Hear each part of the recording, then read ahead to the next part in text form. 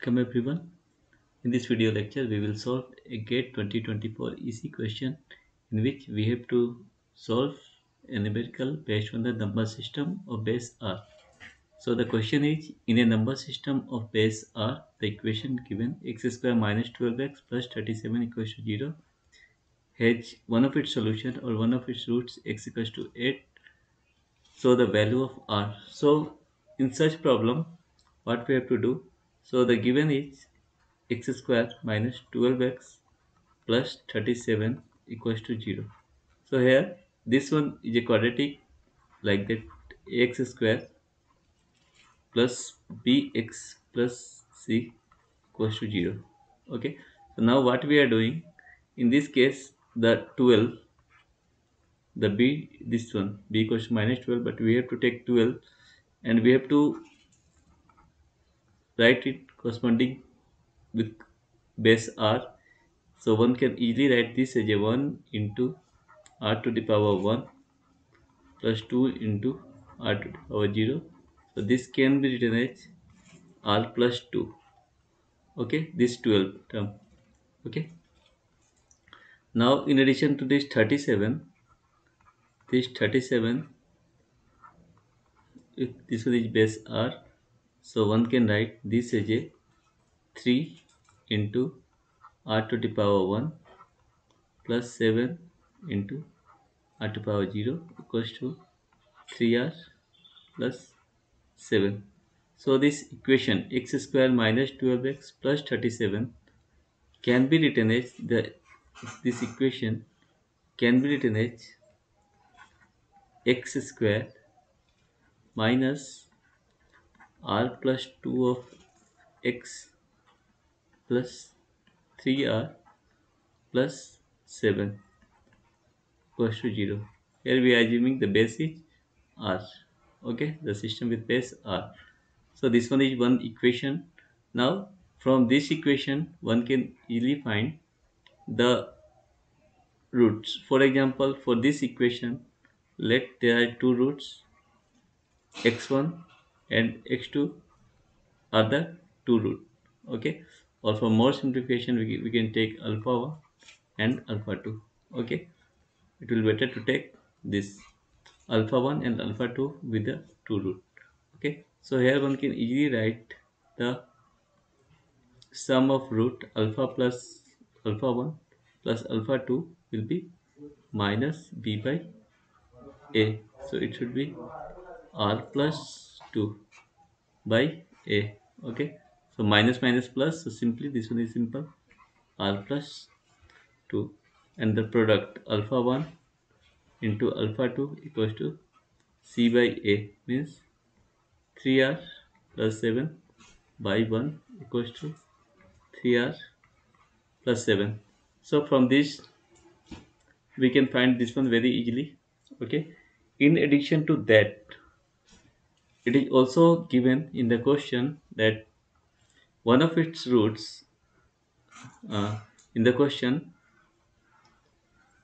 one of the root one of the root is given that is our say alpha 1 equals to 8 or here it is written x equals to 8 so I am writing x1 equals to 8 and alpha 2 is somehow unknown so I am just taking that alpha 2 so one can write x minus alpha 1 and x minus alpha 2 will be our simply 0 two roots so x equals to alpha 1 or simply one can write x minus 8 if you put alpha 1 8 then x minus alpha 2 equals to 0 so if we solve this one then again it will give a equation like this. X square minus x alpha 2 minus a x plus a alpha two equals to zero so x square if you take minus x common alpha two plus a a alpha two same question when the root is given when the root is given okay when the root is given one can also write now say this one is question number A equation number b. Okay? Now again one can also write the alpha 1 plus alpha 2 will be what? Simply minus p by a. So one can write alpha 2 plus 8 by 1 so directly I am writing minus b. So alpha 2 plus 8 okay? And the product alpha 1 into alpha 2 now again it will give one equation. Like this one is 8 alpha 2 by 1 so it's simply 8 alpha 2 plus 8 and so this one is a c equation number c and equation number d. So now one can also do equation a is same as equation c because alpha 1 plus alpha 2 same root.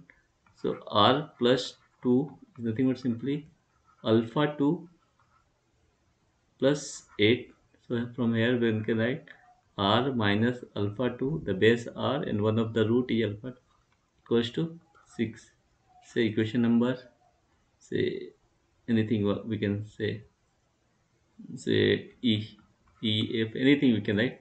And one more thing now equation number b is same as that of d. That's why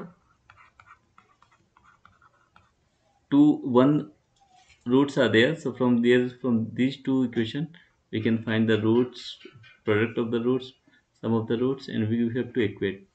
So now this should be 3r plus 7 from b is same as that of 8 alpha 2 so 3r minus 8 alpha 2 equals to minus 7 so equation number f anything we can take e. Okay so this one is just okay i am this one is by equating equation number a with c. Okay then after equation b and d b and d the product.